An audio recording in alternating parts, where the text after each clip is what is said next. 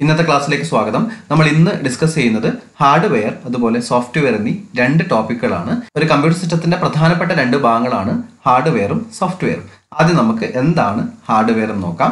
ഒരു കമ്പ്യൂട്ടർ സിസ്റ്റത്തിന്റെ ടാഞ്ചിബിൾ കോമ്പോണൻസിന് അല്ലെങ്കിൽ ഫിസിക്കൽ കോമ്പോണൻസിനെയാണ് നമ്മൾ എന്ത് വിളിക്കുന്നത്?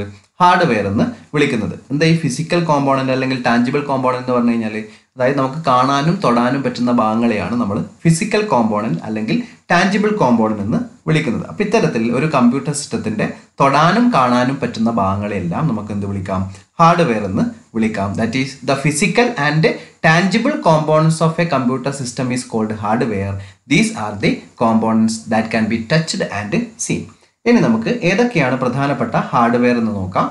ഫസ്റ്റ് വൺ ഇൻപുട്ട് ഡിവൈസസ് നമ്മൾ ഓൾറെഡി പഠിച്ചതാണ്. Mouse keyboard mic webcam joystick ഇത്തരത്തിലുള്ള ധാരാളം ഇൻപുട്ട് ഡിവൈസ് ഉണ്ട്. ഇതിന്റെ ഗണത്തിൽപ്പെടുത്താം. ഹാർഡ്വെയറിന്റെ ഗണത്തിൽ നമുക്ക് പെടുത്താം. മറ്റൊന്ന് ഔട്ട്പുട്ട് ഡിവൈസസ് നമ്മൾ പഠിച്ചതുപോലെ തന്നെ visual display unit printer speaker പോലുള്ള ഔട്ട്പുട്ട് ഡിവൈസസ് ഉണ്ട്. ഇതൊക്കെയും എന്താണ്? ഹാർഡ്വെയർ ആണ്.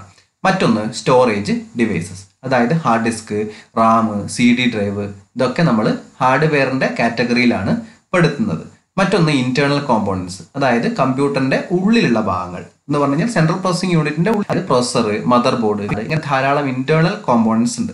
ഇതും ഹാർഡ്വെയർ ആയിട്ടാണ് കണക്കാക്കപ്പെടുന്നത്. മറ്റൊന്ന് കമ്പ്യൂട്ടർ കേസ് ഈ പറഞ്ഞിരിക്കുന്ന ഇൻപുട്ട് ഡിവൈസും ഔട്ട്പുട്ട് ഡിവൈസും സ്റ്റോറേജ് ഡിവൈസും അതുപോലെ തന്നെ ഇന്റേണൽ കോമ്പോണൻസ് ഒക്കെ അറ്റാച്ച് ചെയ്തിരിക്കുന്നത് കമ്പ്യൂട്ടറിന്റെ കേസിലാണ് നമ്മൾ പുറമേ നിന്ന് കാണുന്ന സെൻട്രൽ പ്രോസസിംഗ് യൂണിറ്റ് ആണ് ഈ പറയുന്ന കമ്പ്യൂട്ടർ കേസ് എന്ന് പറയുന്നത്. അപ്പൊ ഈ കേസിനാണ് ഇതൊക്കെ അറ്റാച്ച് ചെയ്തിരിക്കുന്നത്.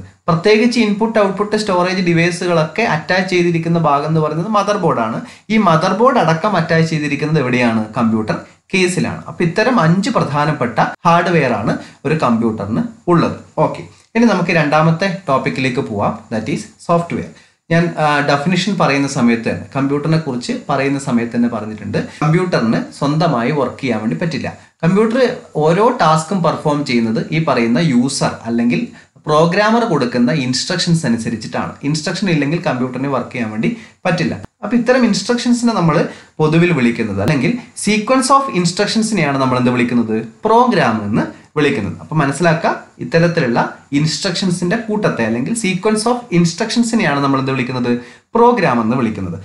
അപ്പൊ ഇവിടെ ശ്രദ്ധിക്കുക ഏതെങ്കിലും ഒരു സ്പെസിഫിക് പ്രോബ്ലം സോൾവ് ചെയ്യാൻ വേണ്ടിയിട്ടുള്ള സീക്വൻസ് ഓഫ് ഇൻസ്ട്രക്ഷൻസിനെയാണ് നമ്മൾ എന്ത് വിളിക്കുന്നത്? പ്രോഗ്രാം എന്ന് വിളിക്കുന്നത്. ഇത്തരത്തിലുള്ള പ്രോഗ്രാമുകളുടെ കൂട്ടത്തെയാണ് നമ്മൾ എന്ത് വിളിക്കുന്നത്? സോഫ്റ്റ്വെയർ എന്ന് വിളിക്കുന്നത്. അപ്പോൾ a program is a sequence of instructions written to solve a specific problem then software is the set of programs that enables the hardware to perform a task അതായത് കമ്പ്യൂട്ടറിന് അതിന്റെ ടാസ്ക് പെർഫോം ചെയ്യുന്നതിന് ആവശ്യമായിട്ടുള്ള ഇൻസ്ട്രക്ഷൻസിന്റെ കൂട്ടത്തെ അല്ലെങ്കിൽ പ്രോഗ്രാംസിന്റെ കൂട്ടത്തെയാണ് നമ്മൾ എന്ത് വിളിക്കുന്നത്? സോഫ്റ്റ്വെയർ എന്ന് വിളിക്കുന്നത്. അത് കമ്പ്യൂട്ടർ റൺ ചെയ്യാൻ വേണ്ടിയിട്ടുള്ള ഇൻസ്ട്രക്ഷൻസ് ആവാം. അതല്ലെങ്കിൽ ഏതെങ്കിലും ഒരു specific operation specific task perform ചെയ്യാൻ വേണ്ടിയിട്ടുള്ള ഇൻസ്ട്രക്ഷൻസ് ആവാം. ഇതിനൊക്കെ നമുക്ക് എന്ത് വിളിക്കാം? സോഫ്റ്റ്വെയർ എന്ന് വിളിക്കാം. പൊതുവിൽ നമുക്ക് സോഫ്റ്റ്വെയറിനെ രണ്ടായി കാറ്റഗറൈസ് ചെയ്യാൻ വേണ്ടി പറ്റും. അതിൽ ഒന്നാമത്തെ ഭാഗമാണ് സിസ്റ്റം സോഫ്റ്റ്വെയർ രണ്ടാമത്തെ ഭാഗമാണ് ആപ്ലിക്കേഷൻ സോഫ്റ്റ്വെയർ ഈ സിസ്റ്റം സോഫ്റ്റ്വെയറിന് ഒരു എക്സാമ്പിൾ ആണ് ഓപ്പറേറ്റിംഗ് സിസ്റ്റം എന്ന് പറയുന്നത്. നമ്മൾ സുപരിചിതമായ ഒരു ടേമാണ് ഓപ്പറേറ്റിംഗ് സിസ്റ്റം അല്ലെങ്കിൽ ഒ എന്ന് പറയുന്നത്. നമുക്ക് ഓരോ സോഫ്റ്റ്വെയറും എന്താണെന്ന് ഡീറ്റെയിൽ ആയി പഠിക്കാം. ഒന്നാമത്തെ ഭാഗം സിസ്റ്റം സോഫ്റ്റ്വെയർ എന്താണ് സിസ്റ്റം സോഫ്റ്റ്വെയർ എന്ന് നോക്കാം.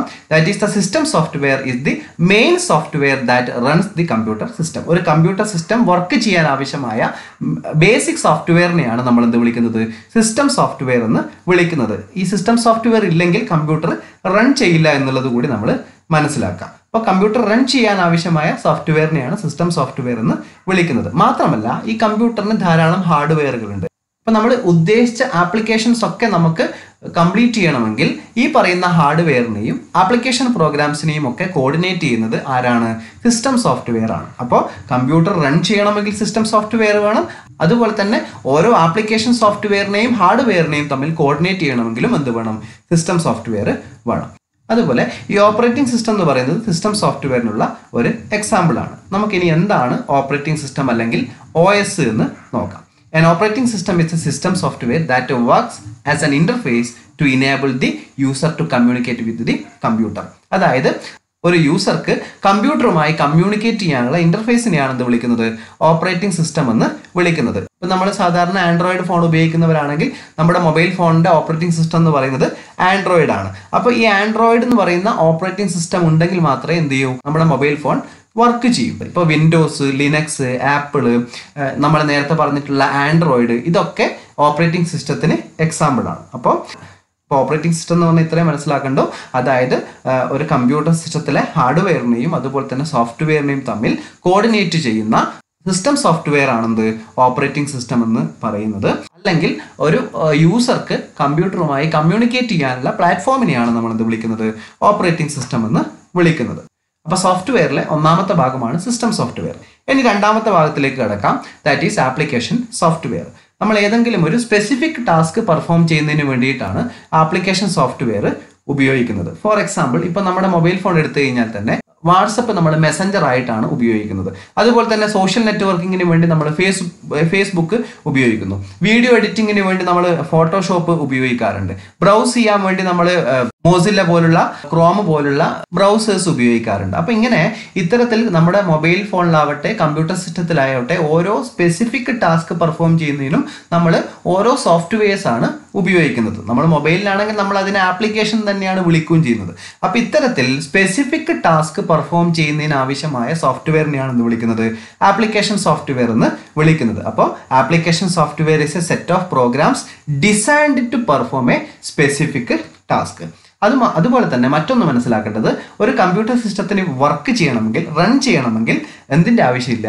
ആപ്ലിക്കേഷൻ സോഫ്റ്റ്വെയറിന്റെ ആവശ്യം ഇല്ല. സിസ്റ്റം സോഫ്റ്റ്വെയർ ഉണ്ടെങ്കിൽ തന്നെ ഒരു കമ്പ്യൂട്ടർ സിസ്റ്റം എന്ത് ചെയ്യും? റൺ ചെയ്യും. പിന്നെ ഈ റൺ ചെയ്ത കമ്പ്യൂട്ടർ സിസ്റ്റത്തിൽ ഏതെങ്കിലും ഒരു സ്പെസിഫിക് ടാസ്ക് പെർഫോം ചെയ്യണമെങ്കിൽ മാത്രമേ നമുക്ക് എന്തിന്റെ ആവശ്യമുള്ളൂ?